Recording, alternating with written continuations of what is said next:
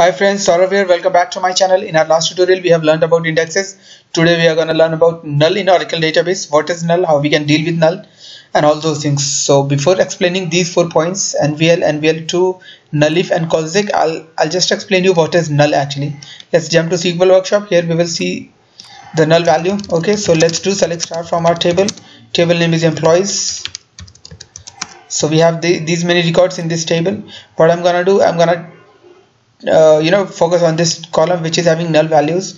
This is commission percentage. Okay I copied this. Okay so suppose you you wanna write something like this where commission percentage is equal to null. When you write something like this we are not gonna get any value because null is some value in Oracle database which is actually unavailable. This data is there but this is unavailable inapplicable but something is there. So we cannot say that commission percentage is equal to null. When we will run this query we will get something like no data found. Or if you'll write is equal to something like this then also you'll get no data found. So how we can deal with this null? There is some simple thing. I'll let you know. Suppose we want to know how many rows are there which is having null null as commission percentage. So what we can do we will write simple simply a keyword right called is and we'll write null. We'll write select star from employees where commission percentage is null. So then we'll get all the rows which is having commission percentage as null. As you can see we got the data okay? Otherwise we will get uh, no data found. So how we can deal with this null value? Hope this this thing is clear to you. Now i'm gonna teach you about nvl okay today we will be learning about NVL in our next tutorial we will learn about NVL2 okay so let's jump to SQL workshop.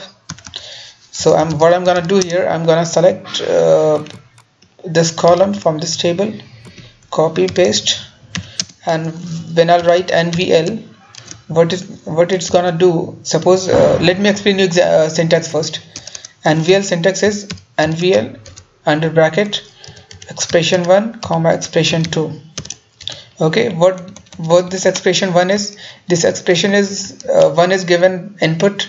I mean we are giving any input. It could be any string or column name. So that that thing is expression one. And if this expression one is containing null value it will return expression two. Okay? So that is what I'm gonna do here. NVL commission percentage comma zero.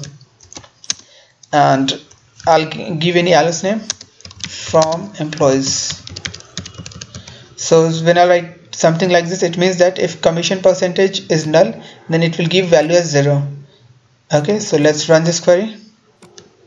So as you can see we have all the null values here and instead of null we are getting 0 actually. So this is how null NVL can take care of you know null values. Let me increase the window size. You will get to know.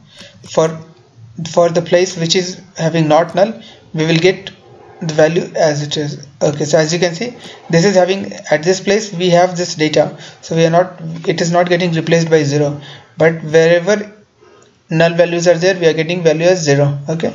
How we how it can help us to you know in our SQL thing suppose we wanna you know add something. We cannot add any value in our null value but we can add something here. Suppose plus 100 because this get converted into 0 and we can add 0 with 100 so we'll get value as 100 so for NVL we will getting 100 we will be getting 100 and for other values which is not having null value we'll be getting added this value with 100 okay? So hope the example and uh, concept is clear to you. For any comment uh, for any feedback or suggestion let me know in comment box. And yeah that's it for today. Thank you for watching the tutorial. Thank you very much